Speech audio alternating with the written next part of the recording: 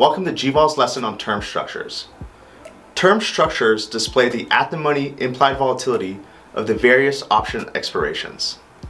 Something that's very important to keep in mind is that volatility is a mean reverting asset class. When looking at term structures, there's four kinds of term structures to keep in mind. Backwardation, contango, flat, and hump shaped. The reason why these are important is that they all display the phenomenon of mean reversion in different contexts. Before we jump to that, let's look at realized volatility.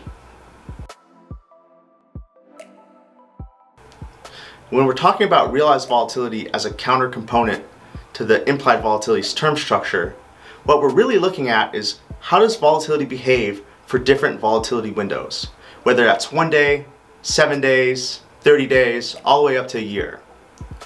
When we measured a realized volatility of one day, there's a lot of variance, and we could see that the one day realized volatility has a wide range of potential values, whereas long dated one year realized volatility has a very tight range.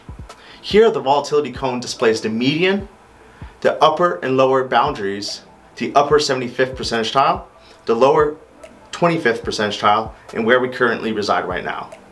All this is very important to give us some really good context around where realized volatility can go and how does this translate for the term structure of implied volatility.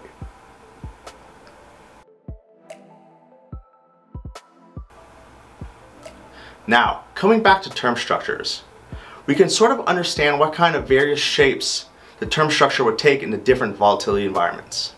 In the high volatility environment, volatility is high right now which means that options that expire soon should display higher vols, whereas options that expire two years from now or one year from now should mirror the average more closely. Same thing is true for low volatility environments. Volatility is low right now, but in the future, who knows what it will be, and the best guess is probably the average. So, how do we trade the term structure, or how do we use this as an advantage to our trading? In the case of the various volatility environments, there's contango, backwardation, flat, and hump. So let's start with contango.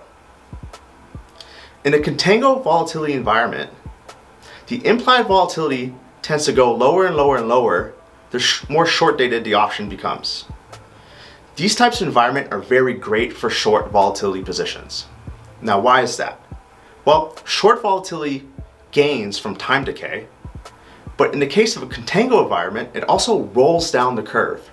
Meaning, if you're selling vol 30 days out, not only do you collect theta as it approaches expiration, but the implied volatility drops as it approaches expiration too.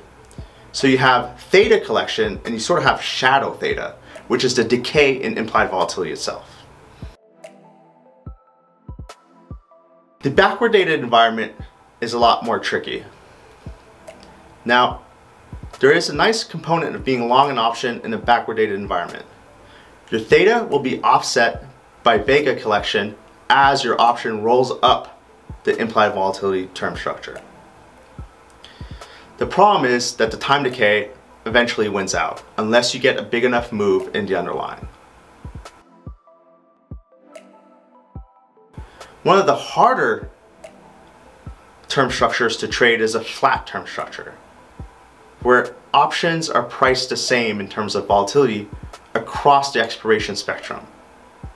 In this case, positioning yourself for a change in a flat term structure makes the most sense.